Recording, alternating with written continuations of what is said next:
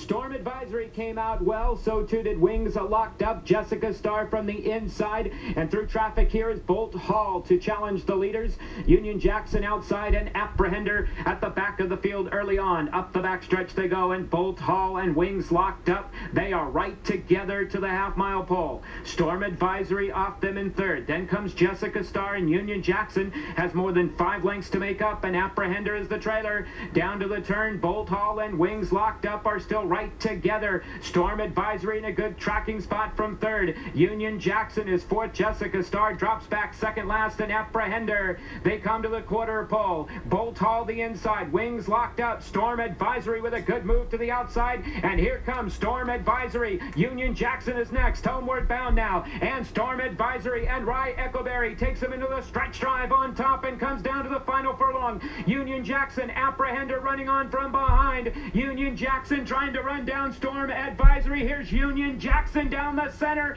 and Apprehender running on late. Union Jackson to win. Beats out Apprehender, Storm Advisory, and Wings locked up in 108.75.